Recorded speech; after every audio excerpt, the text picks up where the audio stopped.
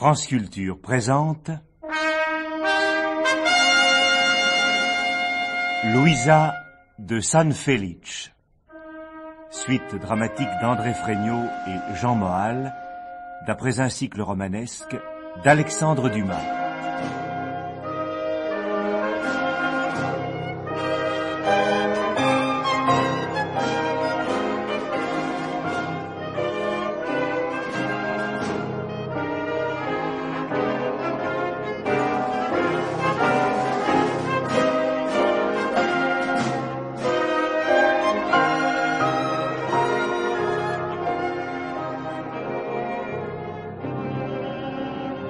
Avec Jean Pia, sociétaire de la comédie française, Jean-Pierre Cassel et Geneviève Page. Dans les autres principaux rôles, Jacques Morel, Michel Bouquet, Philippe Lejour, Jacques Fayet. Avec Lily Sioux, Madeleine Sylvain et Daniel Vol.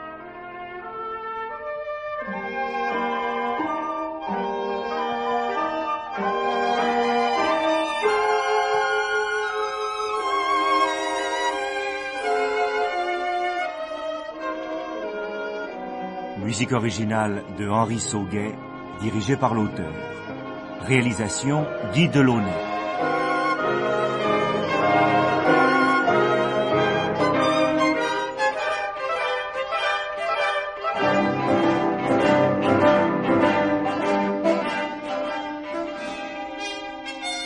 Aujourd'hui, les scrupules de Michele le Fou.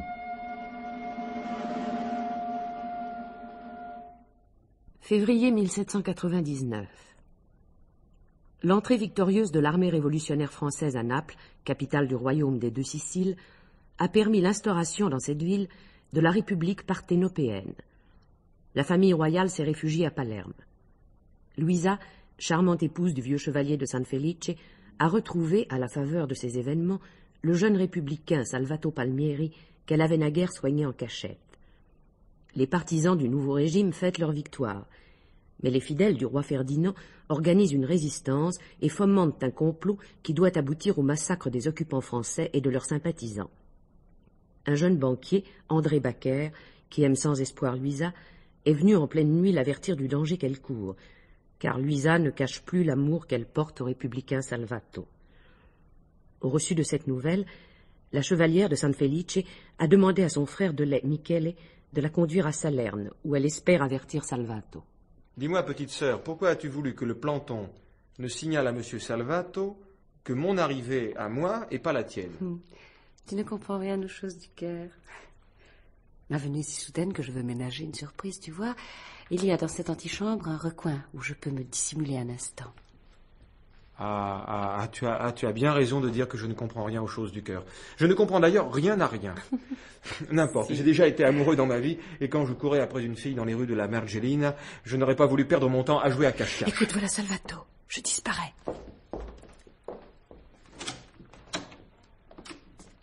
Ah, Michele Je t'attendais.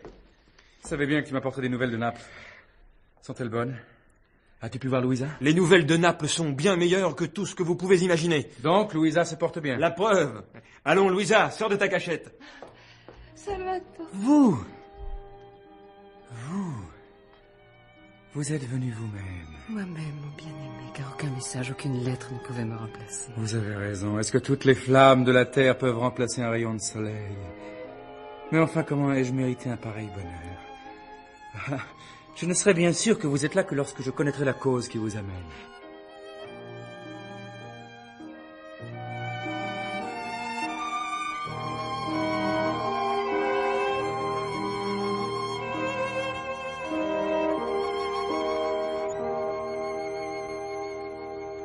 Michele, veux-tu nous attendre ici dans le vestibule? Je veux parler à Salvato sans témoin. Sourd comme un tapis et muet comme la tombe, enfermez-vous et ne pensez plus à votre chien fidèle.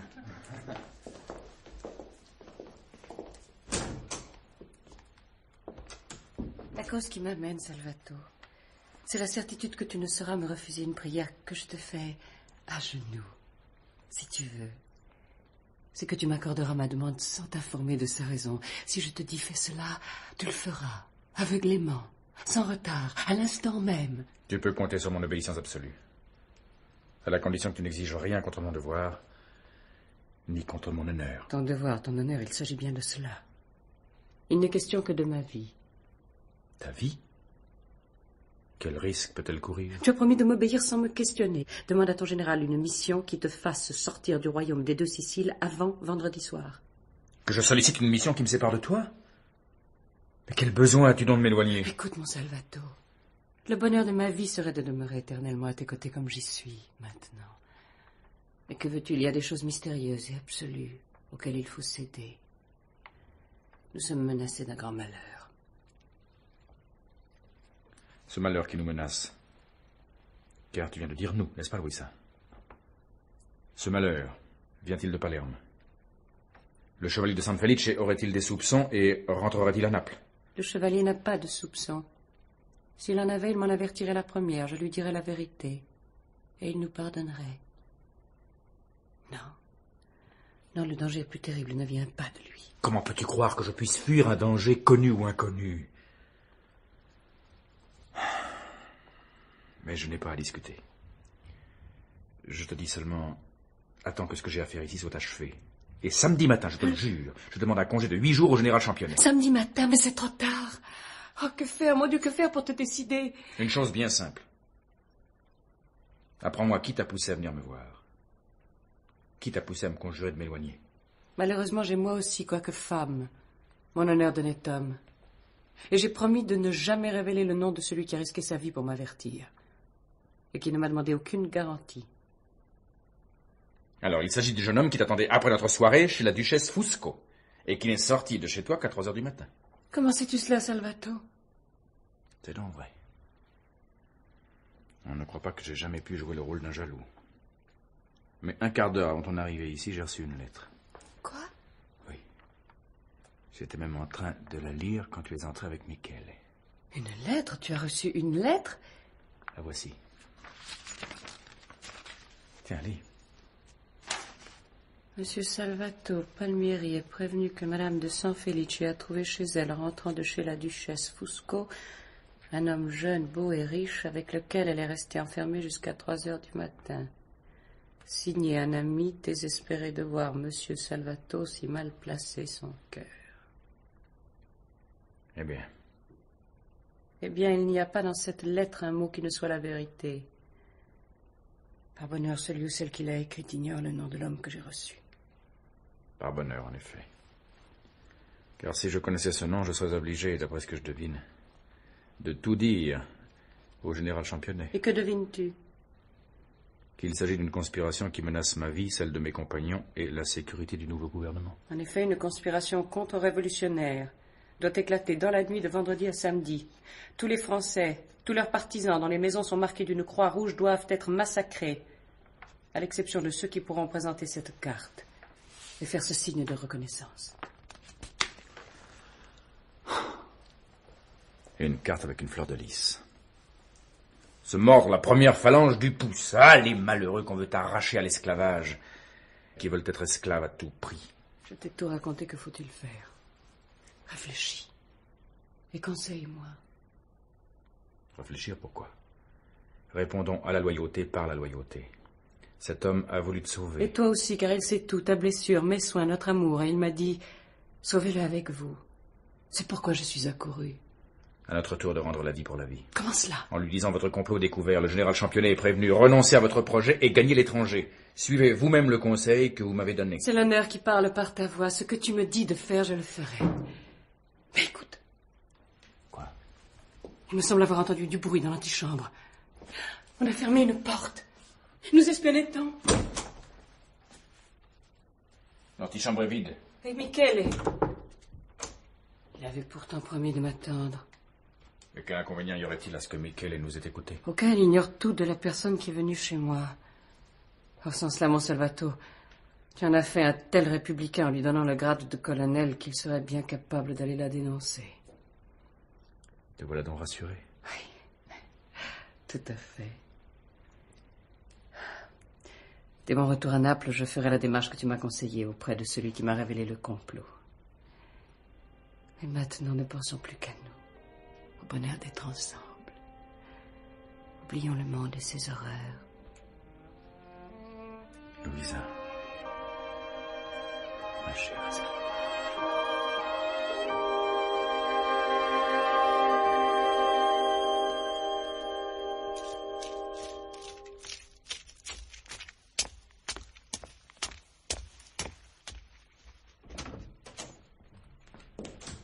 Dis-moi, soldat, est-ce que le général Championnet est chez lui? Oui, mon colonel, le général Championnet est bien chez lui. Mais il est très occupé. Il y a des tas de gens dans son bureau, des architectes, je crois. Il s'agit bien d'architecte. Va dire au général que moi, Michele, Michele, tu entends J'entends bien. hein. Je dois être reçu tout de suite, car je suis porteur de nouvelles très graves. Une nouvelle très grave. Mais tout le monde vous connaît. Vous êtes Michel et le fou. Pas Michel et le fou, Michel et le sage. Michel est le sage? Elle est bien bonne. Enfin, je vais voir.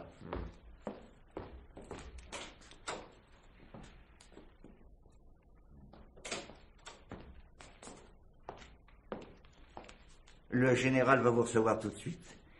Il a même renvoyé toutes les huiles qu'il avait dans son cabinet en leur disant Plus vite j'aurai reçu ce gaillard, plus vite j'en serai débarrassé. Vous êtes prêts Allons-y.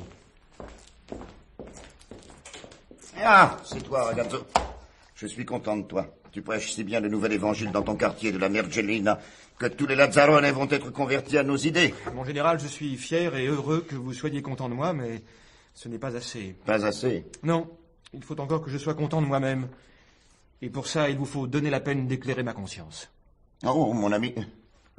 tu t'es trompé de porte. Tu n'es pas chez l'archevêque de Naples. Tu es entré chez Championnet, général en chef de l'armée française. Oh, je sais bien chez qui je suis. Chez le plus honnête, le plus loyal. Assez de flatterie. Hein? Tu as une grâce à me demander? Au contraire. J'ai. J'ai un service à vous rendre. Et un solide. À moi? À vous. À l'armée française, au pays. Seulement, il faut que je sache si je puis vous rendre ce service et si après vous me donnerez encore la main comme vous venez de me la donner. Mhm. Tu connais le proverbe? Dans le doute, abstiens-toi. Bon, mettons que je m'abstienne. Et que m'étant abstenu, il arrive de grands malheurs.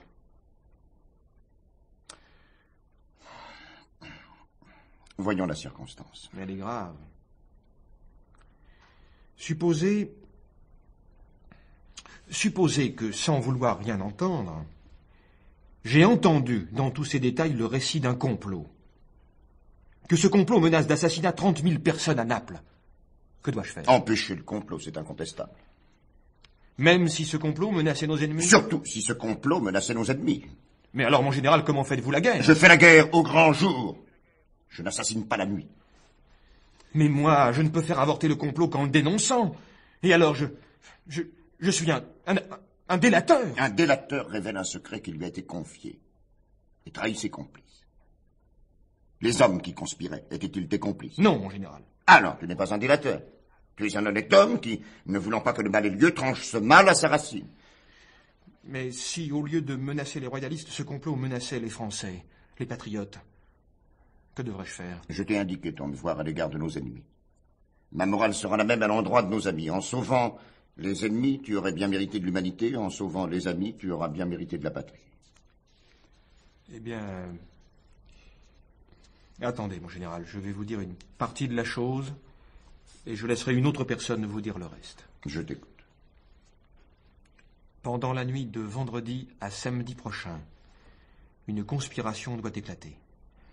Vingt mille conjurés doivent égorger tous les Français et tous les patriotes. Des croix seront faites par avance sur les portes des maisons des condamnés, et à minuit, la boucherie commencera. Mais enfin, les meurtriers risquent d'assassiner des royalistes en même temps que des jacobins. Non, non, car les royalistes n'auront qu'à montrer une carte de sûreté qui représente une fleur de lys et à se mordre la première phalange du pouce. Et comment peux-tu empêcher le complot d'avoir lieu? En faisant arrêter les chefs. Tu les connais, Oui, leur nom. voilà. Que veut dire ce voilà? S'ils sont coupables, Hum Ils seront condamnés à mort. Eh bien, que voulez-vous? Ma conscience crie.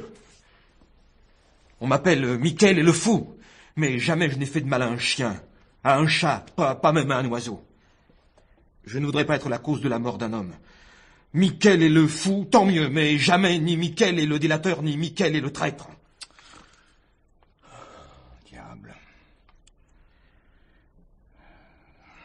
Voilà qui devient embarrassant. hein. Est-ce qu'il est vraiment nécessaire que vous connaissiez le ou les chefs du complot? Absolument nécessaire. Pouvez-vous me promettre qu'ils ne seront pas fusillés? Tant que je serai à Naples, oui. Donc, tant que vous serez à Naples, personne ne sera mis à mort à cause du complot que je vous aurai découvert. Personne. Alors il y a quelqu'un d'autre que moi qui connaît les chefs du complot. Seulement ce quelqu'un, ou plutôt cette quelqu'une, ne sait pas qu'il y a complot. Qui est-ce? La femme de chambre de la chevalière de San Felice. Et comment rappelles-tu cette femme de chambre?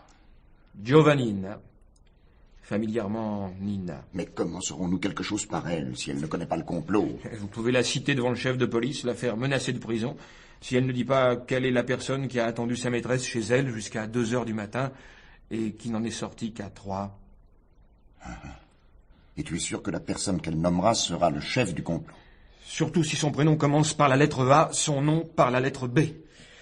Et maintenant, mon général, je vous ai dit non pas tout ce que j'ai à vous dire, mais tout ce que je vous dirai. Michael Michael Ah ah Ah, le voilà parti. Aussi vite qu'il est entré. Ah, ah, C'est napolitain. C'est napolitain.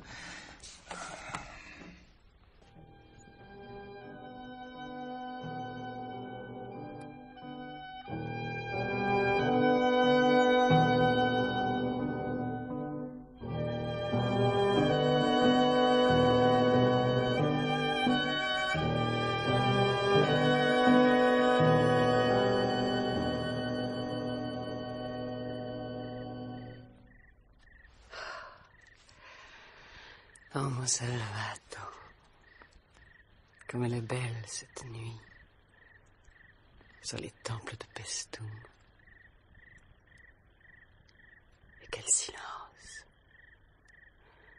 En venant jusqu'ici, il semble que nous ayons remonté les siècles, vaincu le temps. Mhm. Mais l'amour, Louisa, n'est-il pas plus fort que le temps? Mhm. Je t'avoue à présent que ce site de Pestum, je le découvre avec toi.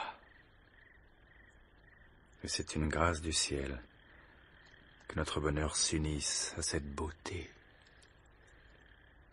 Que nos premières étreintes Le bonheur que tu invoques et qui m'a si totalement envahi, nous devons le mériter davantage. Un être qui m'aime autant que tu m'aimes et que je ne peux payer de retour. Ah oui. Ce jeune homme, ce conspirateur que tu n'as pas voulu nommer. Mais il a risqué sa vie pour nous, Salvato. Il faut que je le prévienne au plus tôt d'avoir acquitté Naples. C'est toi-même qui m'as donné ce conseil. Louisa, encore un instant de bonheur. Nous venons, mon amour. Nous venons de céder au bonheur de l'instant. Mais quant au bonheur véritable, il ne pourra jamais en être question tant que la vie d'un homme sera en jeu. Tu as raison. Tu as toujours raison, mon ange. Rentrons à Salerne. Oui, rentrons. Je suis certaine d'y retrouver Michele. Avant notre irruption dans ton appartement, nous étions convenus d'un rendez-vous à l'auberge del Sol. Mais Michel n'était déjà plus dans l'antichambre où tu l'avais laissé pour me faire ta confidence. La durée de, de notre entretien l'a lassé. Il a sa façon à lui d'être discret. Viens.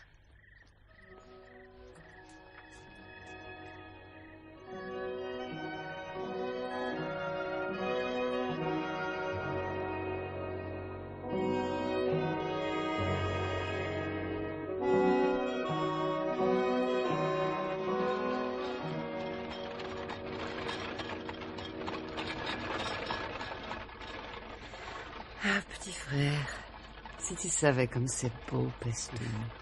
En tout cas, ma Louisa, tu rayonnes. Tu n'as jamais été plus merveilleuse. Ah, Je te dois bien des excuses. J'avais pu te prévenir avant notre excursion, mais Tu t'es éclipsé. Je compte sur toi pour avoir trouvé de la distraction à Salerne. Moi, je suis rentré tout droit à l'auberge d'El Sol et j'ai dormi comme un sonneur jusqu'à ce matin. Hmm. Nous venons de traverser Torre del Greco, Portici, Regina. Michele, veux-tu dire au cocher d'arrêter à la fontaine Medina Ah, tu as sans doute besoin d'aller retirer de l'argent à la banque des Baquets. Oui, oui, c'est ça. Euh, voilà, de l'argent à la banque. Tiens. Tiens, mais il se passe quelque chose d'extraordinaire dans le quartier. Oh, tu sais, avec les événements, tu pourrais bien revenir un, un autre jour à la banque. Rentrons à la maison du palmier. Mais absolument pas. Si le cocher ne veut pas avancer, sortons et nous irons à pied.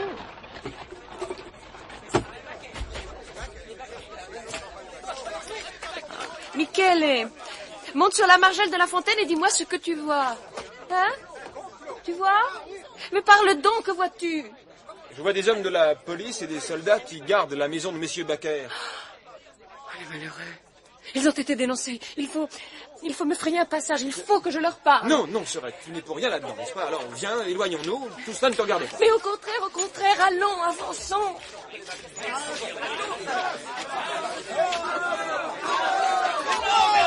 J'y comprends rien, ce sont des prisonniers qu'on enchaîne. On leur a lié les bras et pourtant, ils avancent drapés dans la bannière blanche des Bourbons. Les deux premiers... Mon Dieu, je reconnais Monsieur Baker et son fils André. André Baker. Ah, Madame de San Felice, je savais bien que c'était vous qui m'aviez trahi.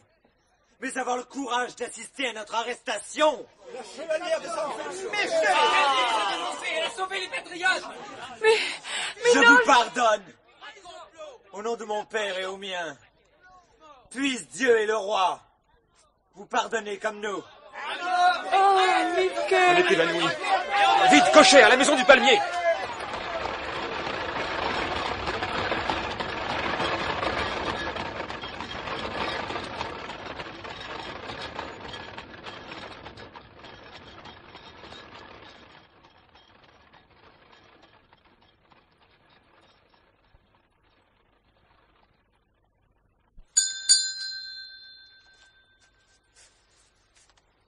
Et cette Nina qui n'ouvre pas. Et Louisa, ma petite soeur, tu te sens bien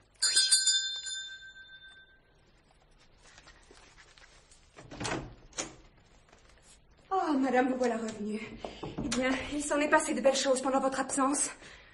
Ici? Oui, madame, ici, dans la maison. Mais que s'est-il donc passé? Oh, madame aurait bien pu me dire, dans le cas où on m'interrogerait sur monsieur André Baker, ce qu'il faudrait répondre. On vous a donc interrogé sur Monsieur Baker? D'abord, je ferai remarquer à madame qu'elle me dit vous et non pas tu. Mais si c'est son idée. Eh bien... Eh bien, oui.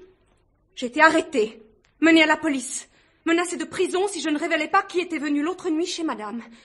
On savait bien que quelqu'un était venu, mais on ne savait pas qui. Et vous avez nommé Monsieur Baker Il a bien fallu.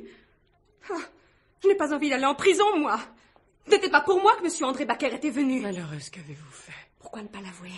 J'ai eu peur. J'ai eu peur d'être accusée de dissimulation. Oh. Et qu'on pense ensuite que monsieur Baker était l'amant de madame, comme on commence à le dire de monsieur Salvato. Nina, tu veux que je te flanque la main sur la figure Ah, Je t'en prie, Michele. Nina, j'ai beau m'interroger, je ne comprends pas. Quelle raison avez-vous de reconnaître mes bontés par une pareille ingratitude? Demain, vous sortirez de chez moi. Comme madame voudra. Mais si cela lui fait plaisir que je m'en aille, cela m'arrange aussi de quitter une maison qui ne m'attire que des ennuis. Oh, Michele, mon petit frère. Heureusement qu'il y a toi, que tu me restes. Louisa, tu étais si heureuse en revenant de Pestum. Oh, si heureuse, si heureuse. Mais je suis sûre maintenant que mon bonheur est passé. Nina, comment cette folle a-t-elle pu inventer tant d'horreurs? Folle, sans doute, mais raisonnons froidement. Il ne faut pas la chasser. Ah Songe qu'elle sait tout. L'agression contre Salvato, son séjour dans la maison, tes intimités avec lui. Oh, Michel Mais par la Madone, je sais bien, moi, qu'il n'y a rien de mal dans tout cela, mais le monde y verra du mal. Tandis que si elle reste, si elle ne parle pas... Mais pourquoi Nina se vengerait-elle de moi? Louisa, tu es un ange. Un ange du ciel, mais enfin, rends-toi compte. Tu es belle, tu plais. Monsieur Salvato et Monsieur Baker, pour ne citer que ces deux-là, sont fous de toi. Et alors? Et alors, ta femme de chambre, qui a ton âge et qui n'est pas vilaine. L'envie, ma chérie, sais-tu ce que c'est? Non. Non, je ne comprenais pas jusqu'à aujourd'hui. Ah, mais tu dois avoir raison. Depuis quelque temps, oui, depuis que Salvato est venu ici, j'ai trouvé Nina bizarre, changée. Et tu ne sais pas que lorsque nous avons été rejoindre Salvato à Salerne, après la visite de ce pauvre André Baquer, une lettre anonyme nous avait précédé, racontant qu'un jeune homme était venu ici et avait passé une heure avec moi. Qui a pu écrire cette lettre anonyme sinon Nina? Je te le demande. Oh, Nadja ça c'est grave. Mais je te le répète, ne fais pas d'éclat. Je te donnerais bien un autre conseil. Je te dirais bien, va rejoindre le chevalier à Palerme, mais ce conseil, tu ne suivrais pas. Hélas. Ton conseil est bon, mais. Mais il y a eu Pestum. Et maintenant? Je comprends. Tiens, tu entends les pas qui approchent? Serait-ce cette saleté de Nina? Mais non Le bruit vient du couloir qui nous relie au palais de la duchesse Fusco.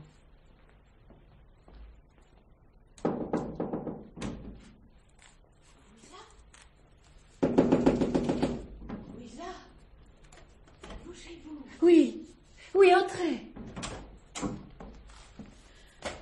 Ma belle Louisa. Non, Michael, restez assis.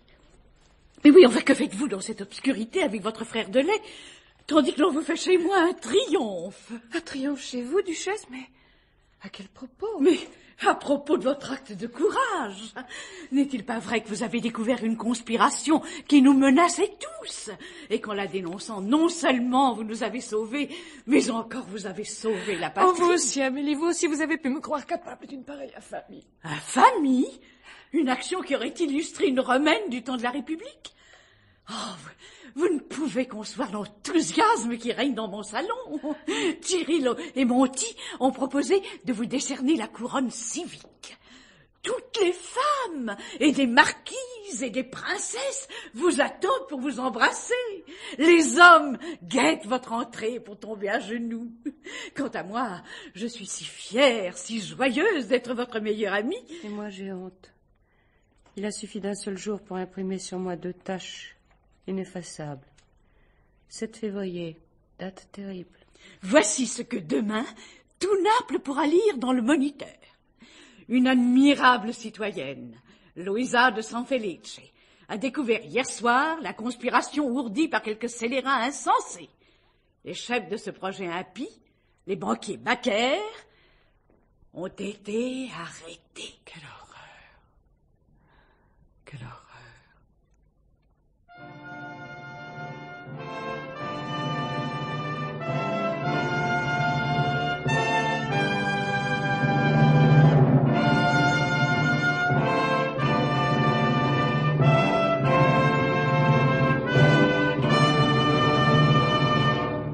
Ascoli, mon ami, cette retraite chez les Ursulines de Caltanizetta s'est merveilleusement passée. De charmantes religieuses, pas farouches, une table excellente et une chasse. Ah, mon bon. Une chasse, des hécatombes de daims, de cerfs, de chevreuils. Ah, enfin, il est bien agréable d'avoir parfois à mêler le sacré au profane. Mais t'as une bien curieuse figure, Ascoli. Si tu as des choses déplaisantes à m'annoncer, je t'en prie, laisse-moi souper. J'attends le bon plaisir de votre majesté. Viens contre ma jambe, Jupiter. voilà, voilà. Ah, mon bon plaisir, Ascoli serait envoyé à mille diables, de te défendre ou d'ouvrir la bouche. Mais il faut bien de temps en temps faire son métier de roi. Sire, je n'ai que ce numéro de journal. Voyons, le moniteur parthénopéen. Ah, mais c'est la gazette de ces Jacobins qui m'ont chassé de Naples, ça. Tiens, tiens, tiens, on a découvert le complot royaliste fomenté par le père Baquer et son fils. Et on a arrêté ces pauvres banquiers, quel dommage. Je les aimais bien, moi, ces Baquer, surtout le jeune André, un garçon si bien élevé. Je n'en suis pas autrement étonné. Tu te souviens, Scully, quand tu m'as parlé de cette conspiration et que je t'ai dit, les imbéciles, ils ont accueilli dans leur rang le vicaire del Carmine et le prince de Canossa, de Gettatore, comme les appellent si bien les Lazzarone. Euh, sire, je ne me permettrai pas de contredire votre majesté, mais je crois bien que la Jettatur n'entre pour rien dans la découverte du complot. Lisez plus loin. Oui. Oui. Une Louisa de San Felice a sauvé les patriotes, mais Louisa de San Felice. Ne serait-ce pas la femme du bibliothécaire de mon fils? Elle n'a jamais voulu être présentée à la cour. Ni suivre le chevalier, son mari, à Palerme. On prétend d'ailleurs que cette très jeune femme aurait préféré demeurer à Naples pour filer en toute sécurité un parfait amour avec un dangereux républicain. et si je comprends bien la prose ridicule imprimée sur ce torchon, on acclame cette catin, on lui tresse des couronnes, on l'appelle mère de la patrie. Eh ben, elle ne paie rien pour attendre. J'ai inscrit sur mes tablettes personnelles Louisa de San Felice. Si je remonte jamais sur le trône, dans quelles conditions que ce soit, elle est promise à la mort. Sire, par cet acte de justice, vous vengerez non seulement votre personne sacrée, mais l'honneur d'un de vos sujets les plus fidèles, le chevalier. Bon, maintenant, Ascoli, comme les nouvelles que tu m'apportes sont tout de même de mauvaises nouvelles, je te charge de les apprendre à la reine et surtout, surtout, en mon absence. Qu'est-ce que t'as, mon brave Jupiter, hein? Ah, oh, oh j'ai compris. Quand tu aboies de cette façon, je sais très bien qui va entrer. Et voilà. Allons, Jupiter. Allons, allons, allons. Et se coucher, Jupiter. C'est ta maîtresse, voyons, Jupiter. C'est ta bonne maîtresse, là. Ah, sage. Tu reconnais pas Sa Majesté la Reine? Que m'importe, monsieur, la mauvaise humeur de cette bête?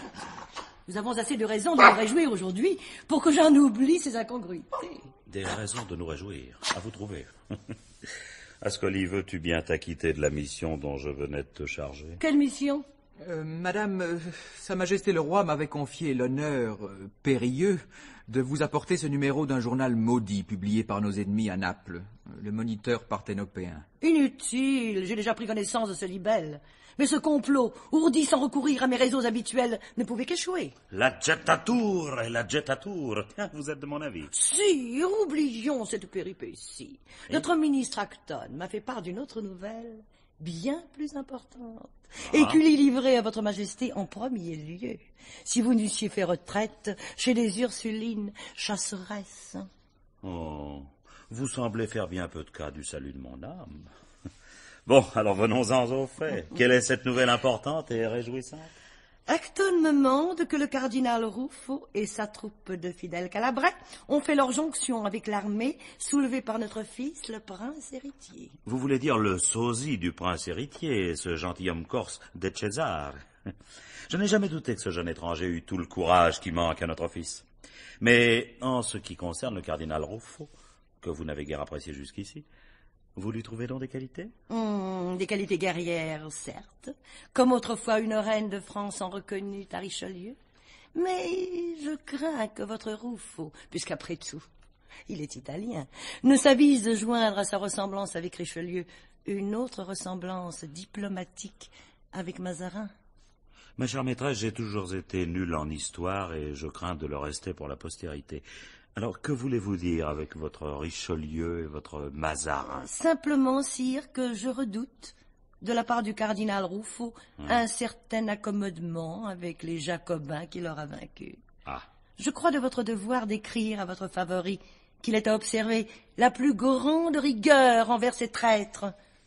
Les termes employés par cette gazette impie et ridicule ne vous ont-ils pas ouvert les yeux? Ah, il est vrai que le rôle joué par les gens de notre monde, la duchesse Fusco, la chevalière de San Felice... Oh. euh, Vous avez raison, madame, cela ne se pardonne pas. Je vais écrire devant vous.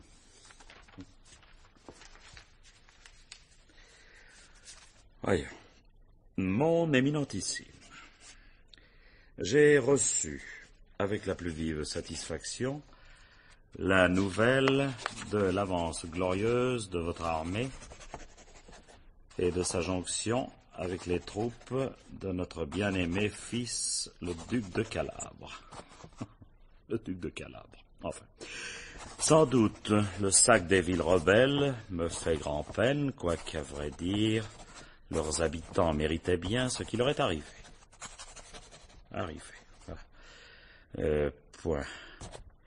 C'est pourquoi j'insiste auprès de vous pour qu'on ne fasse aucune miséricorde à ceux qui se sont dressés contre Dieu et contre moi. Voilà. Êtes-vous satisfaite, madame? Certes, monsieur, et en supposant que le cardinal Ruffo n'obéisse pas tout à fait à vos ordres, il nous reste une carte majeure. Laquelle, madame? Un roi? Un empereur? Notre neveu, l'empereur d'Autriche, consentirait-il à se remuer? Pour une fois, non pas un roi, sire, mais un valet, Celui dont ma chère Lady Hamilton a fait un esclave L'amiral Nelson. Nelson Ce manchot Ce borgne Drôle de valet de cœur.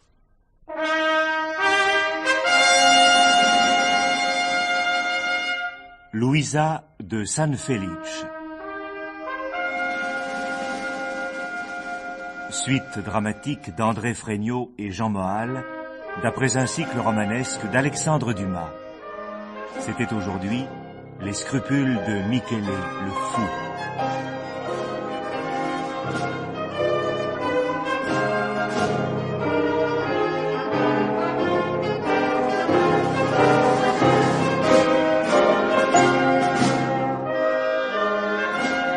Jean sociétaire de la comédie française, était Salvato. Jean-Pierre Cassel, Michele, le fou. Jacques Morel, le roi Ferdinand. Michel Bouquet, le général Championnet. Philippe Lejour, Ascoli. Jacques Fayet, André Baquer. Pierre Ferval, le planton. Joël Noël, Jupiter, le chien. Geneviève Page était Louisa de San Felice. Lily la reine Marie-Caroline. Madeleine Sylvain, la duchesse Fusco, et Daniel Vol, Nina la camériste, avec Françoise Fechter, la récitante.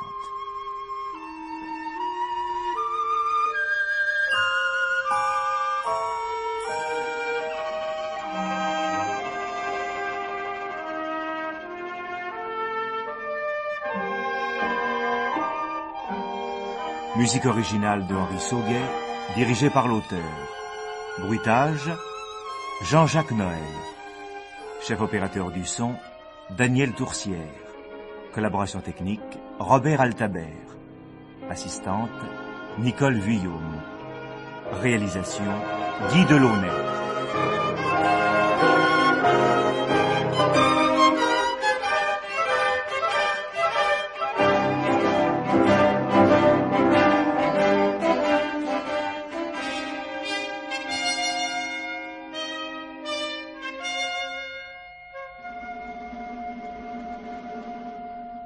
Prochaine émission, l'amour et la mort.